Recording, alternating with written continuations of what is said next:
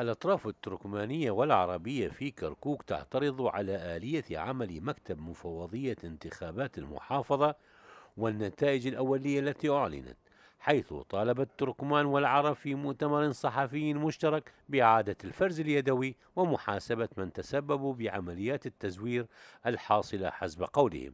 إعادة العد والفرز اليدوي لكل مراكز الاقتراع في المحافظة من قبل المركز الوطني.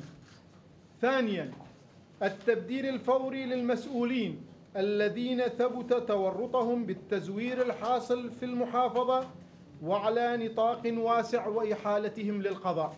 نحن بكل قوة نؤيد التظاهرات السلمية وضبط النفس ونحن من آه، سنقف معهم لأنه هذه صوتنا هذه إرادة شعبنا. ما ممكن آه، نقبل أنه ترضخ إرادة مكونات كركوك للأمر الواقع وللاحتيال وللتزوير الذي حصل في كركوك.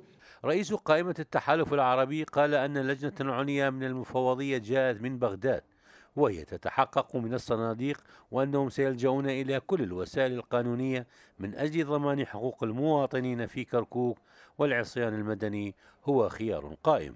اللجنة الآن هي في مراكز استلام الصناديق في كركوك وبدأت في عمليات تدقيقها الأولية وعندما ترفع تقريرها عندها سيكون لنا كلمة وقد نضطر إذا ما تم الاستجابة إلى مطالبنا قد نضطر إلى الاعتصام المدني. لن نقبل أن تتغير إرادة الناخب كما اتهم رؤساء القوائم العربية قوى نافذة في بغداد بضلوعها في التزوير لصالح الاتحاد الوطني الكردستاني من أجل أن تتحالف في تشكيل الحكومة مقابل إعادة البيشمركة إلى كركوك.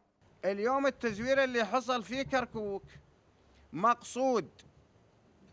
وإحنا نتهم أجهزة في الدولة ونتهم أحزاب سياسية معروفة بأنه تم الاتفاق مع الاتحاد الوطني الكردستاني.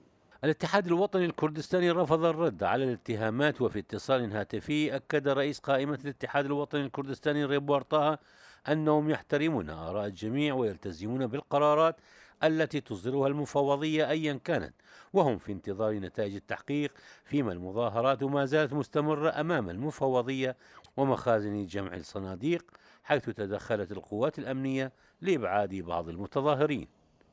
سوران الداودي الحرة كركوك.